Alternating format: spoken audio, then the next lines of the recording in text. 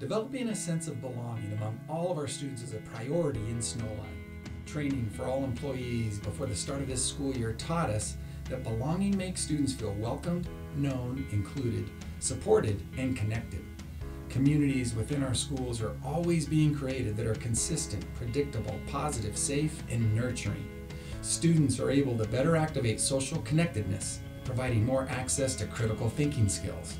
When this happens, greater outcomes for each and every child around academic achievement, persistence, and mental health are realized. Our schools and departments are building opportunities for students to feel stronger senses of belonging in all places and at all times. This means creating structures to share and listen, to elevate student voice, and to build positive relationships.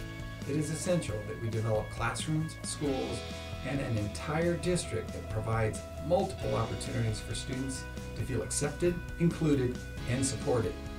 We need to consistently shine a light on each student, weave social emotional learning into daily learning, and use belonging cues that send clear messages that each child is connected, shares a future with others, is cared for, and matters.